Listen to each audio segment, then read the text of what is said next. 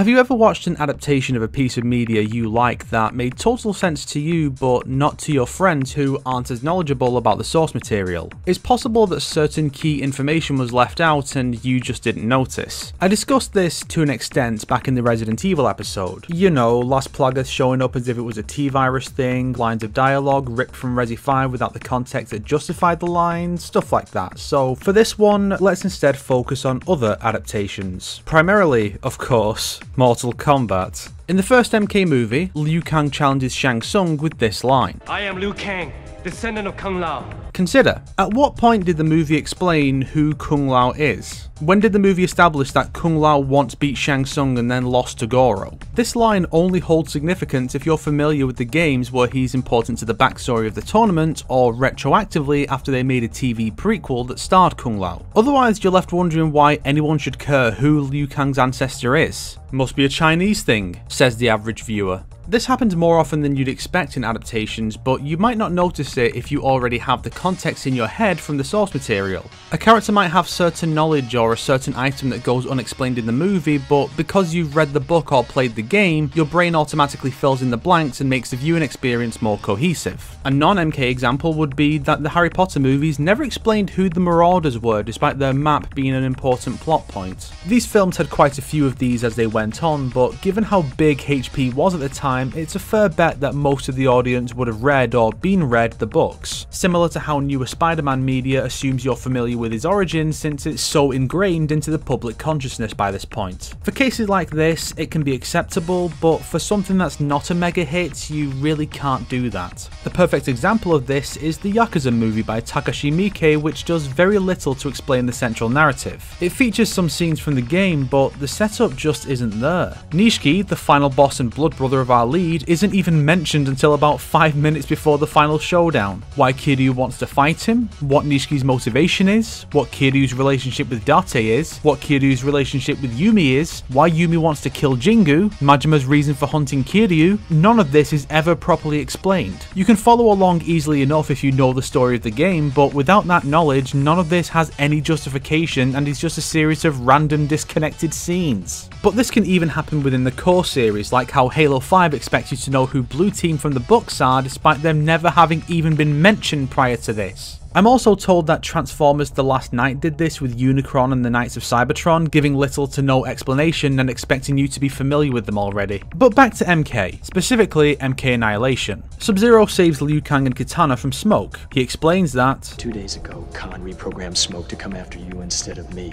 Who this robot man is and why he might be after Sub-Zero are never explained, nor is the reason why there's a yellow version of him in another scene going after Jax and Sonya. Game fans know that Smoke and Cyrax are Sub-Zero's fellow Lin Kuei who became part of the Cyber Initiative and now hunt down escapees, but the Lin Kuei itself is never mentioned in the films, never mind the Cyber Initiative, nor is it explained how the feudalistic Outworld Kahn would know how to reprogram a machine when his usual tech expert Kano is already dead here. Speaking of Khan, his reveal of his name in Star Trek Into Darkness is treated like a big deal by the film with emphasis placed by Cumberbatch and a dramatic pause that only exists for people who know who the Khan in Wrath of Khan even though in this new timeline he has done nothing of note and Jim has no reason to give a shit who he is. When Sub-Zero has his fight with Scorpion, while it's cool to see the two fight on the big screen, there's no history between them here. Scorpion's history with Bi-Han was only alluded to with a blink and you'll miss it line from Shang Tsung in the first film, and Scorpion didn't even kill Bi-Han in this universe, Liu Kang did. So even if Bi-Han and Scorpion actually had a properly established rivalry before this point, Kuai Liang fighting Scorpion wouldn't really mean anything. It only holds weight because they're rivals in the source material or retroactively with Scorpion's feud with Sub-Zero's ancestor in Conquest. If anything, a fight between Sub-Zero and Liu Kang would be more interesting here, but still not as interesting as a fully adapted Scorpion and Sub-Zero would. Legends had one fucking job and they gave Sub-Zero like 4 minutes of screen time.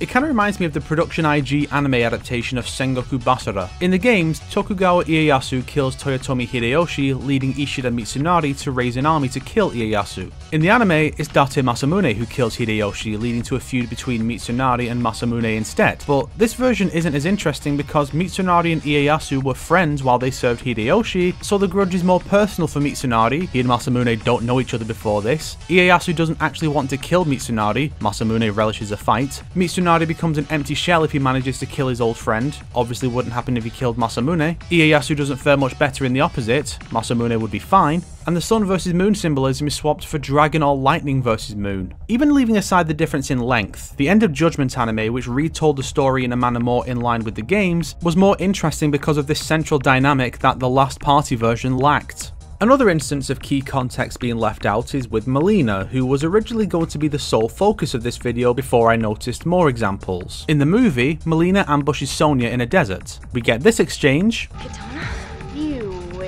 And then the two fight. For a fan of the games, this makes perfect sense. Mileena is a clone of Kitana, only distinguishable by her colour scheme and her mouth. With knowledge of Mileena's origins from the games, it makes total sense that Sonya would mistake Mileena for Kitana so long as her mouth is covered. But the movie never bothers to establish her status as a clone. In the movie, Sonya sees a masked woman who doesn't really dress like Kitana and isn't even played by the same actress for close-ups, and she still thinks it's Kitana. I mean, Kitana and Mileena never share a scene together, so split screens and green screens didn't need to be considered in casting, and Talisa Soto was one of only three actors to return from the first film, one of two playing the same character, so there's no reason at all to not have her play Mileena for close-ups and her speaking lines before switching to a masked stunt double for the fight scene. It's quite similar to the scene in MK 2011 where Smoke finds Jade standing over the unconscious Mileena and thinks Jade beat up Kitana despite there being absolutely no reason to think they're the same person given how the only similarities are raven hair and big boobs. Even the skin tones don't match, but Smoke still thinks it's Kitana. If I were to wasted potential this thing, I'd have Mileena, betrayed by Soto, take Jade's role as the traitor, posing as Kitana to infiltrate the heroes and betray them at a key moment. She could begin the infiltration after losing to Sonya, claiming she was mind controlled like her mother to excuse the fight. Then Sindel, Kahn or Kitana explains Mileena's origins when they reach Sindel. Come on guys, this is easy. One could argue that a story arc being condensed down to only its bare essentials or barely being noticeable to one not familiar with the source material counts as this too, such as MK Legend Scorpion's Revenge's half-assed setup for the Johnny Cage and Sonya Blade relationship. She hates him throughout the film, he helps her escape captivity from a group of monsters and proves that he can fight, and suddenly she's starting to fall for him. Trash! Can you think of any more examples of this? I'm also curious to see if anyone has an example of the opposite, an adaptation adding details that fill in the blanks for them in the source material. Maybe you consider Kano killing Sonya's partner to justify her hatred of him from the first film to be this.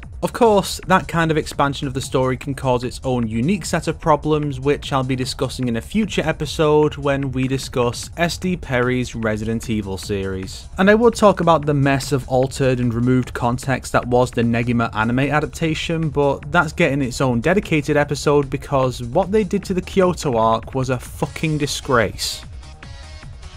If you liked this video, why not subscribe and support me on Patreon like these fine people here? If not, then make sure to share it with your enemies so they can suffer along with you. Today's recommended playlist is the Harry Potterathon by Dominic Noble. It's part of his show Lost in Adaptation where he discusses movies based on books and this subject comes up quite a bit as the Potterathon goes on.